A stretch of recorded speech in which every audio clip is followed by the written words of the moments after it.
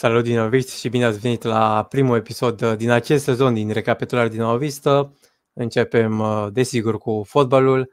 Dinamo a obținut uh, ieri un egal foarte important, sau cel puțin bun, cu Rapid din Giulești, 1 la 1, după două penalturi care au decis meciul, prima dată pentru ei, gol marcat de Petrila, iar după aceea noi, prin Salmani, același jucător care a și obținut penaltul, un egal bun, Momentan uh, chiar o duce bine în deplasări. Să uităm, a jucat uh, trei deplasări foarte grele cu CFR, chiar în prima etapă pierdut 2 la 3 pe final, cu Sepsi și acum cu Rapid.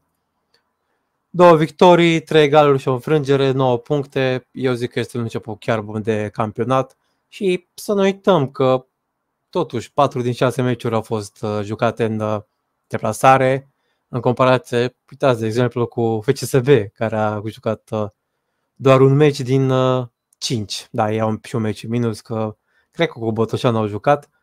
Deci, cred că dacă, dacă ne gândim puțin, dacă am fi jucat poate invers, 4 meciuri acasă și 2 de deplasare, aveam minim 12 puncte, zic eu.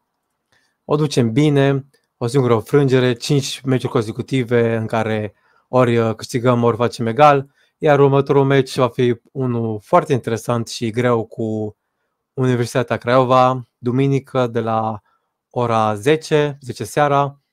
Craiova care, atenție și eu, duc uh, chiar uh, foarte bine în deplasare, egal cu Rămaștat din prima etapă, Rămaștat care sezonul trecut știm cât de bine o duceau acasă, și după aceea două victorii chiar uh, foarte, foarte importante pentru ei cu CFR Cluj și Sepsi.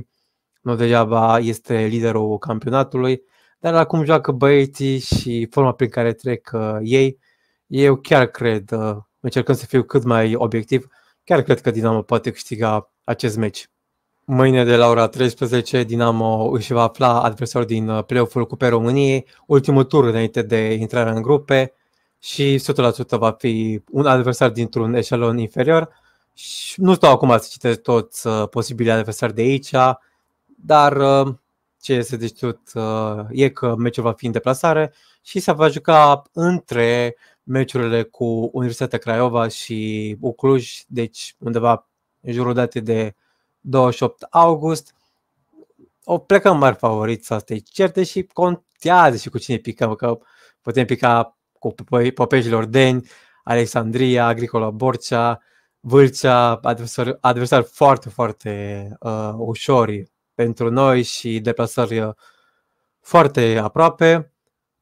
Pentru că, de exemplu, putem pica cu Veciu Creva, care ar fi un adversar cât de cât dificil, sau chiar uh, Corvinul de Dora, care nu de mult uh, recent acum a jucat în uh, cupele europene. Da, bine, în primul rând ea trebuie să treacă de viitorul Pandurii, dar indiferent de adversar, cred că Dinamo va trece.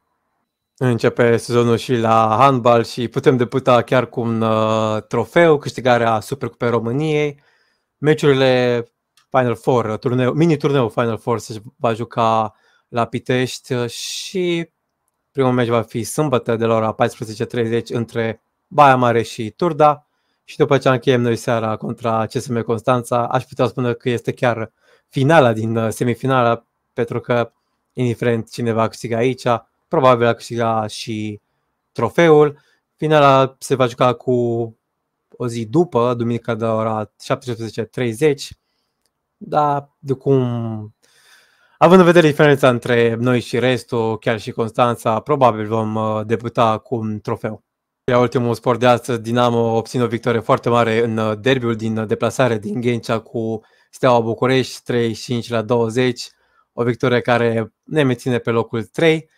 Și un alt meci interesant al etapei s-a jucat între Timișoara și Baia Mare, victorie foarte strânsă a timișorenilor, 13 la 12.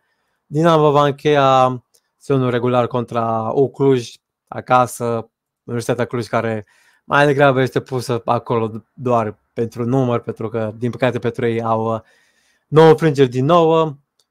Meciul va avea loc sâmbătă de dimineață de la 11 să sperăm că, dincolo de victoria care 100% va fi, să sperăm că vom uh, juca, vom obține la fel cum am obținut și sezonul trecut, de ce nu să câștigăm și campionatul și cupa, deși m-aș mulțumi cel și cu un trofeu, unui doi tot ar fi bine, dar băieții chiar joacă bine, o, o au o, o formă în continuare bună la fel ca anul trecut și cred că putem, putem chiar două trofee. De ce nu?